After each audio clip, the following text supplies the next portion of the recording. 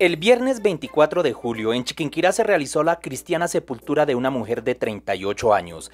El hecho hubiese pasado desapercibido ante la opinión pública, pero tomó relevancia debido a que en el municipio denunciaron que el deceso se habría dado por una intervención quirúrgica para tonificación del cuerpo conocida como liposucción. NST Noticias habló con la directora local de salud pública de Chiquinquirá, Deyanira Sierra, quien indicó lo siguiente. Pues efectivamente, hace unos días eh, informaron, fue apenas un rumor, de un fallecimiento de una persona que se realizó eh, un procedimiento estético.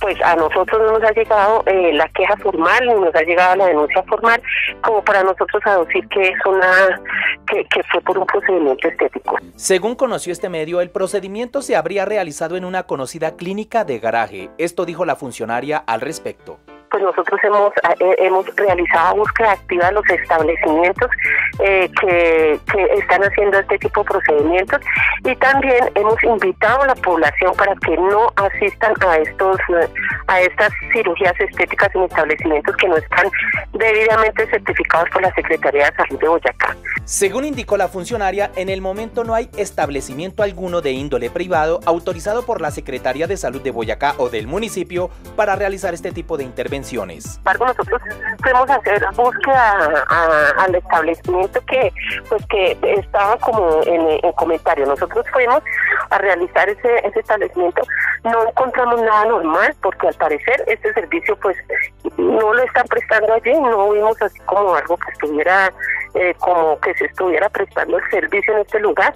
Entonces, pues por lo tanto, nosotros no pudimos proceder a hacer el sellamiento. Cuando llegamos, el lugar estaba eh, cerrado. Eh, nos atendió como el administrador del lugar y él dijo, pues que simplemente no, no tenía conocimiento al respecto.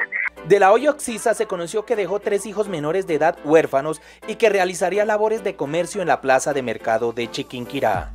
La directora de Salud Pública en Chiquinquirá indicó que siguen investigando este tipo de comentarios e invitó a los ciudadanos a no creer en este tipo de ofertas económicas para mejorar el aspecto físico o la salud. Por el contrario, denunciar y si se quiere realizar una cirugía estética o de adelgazamiento, acudir a los profesionales.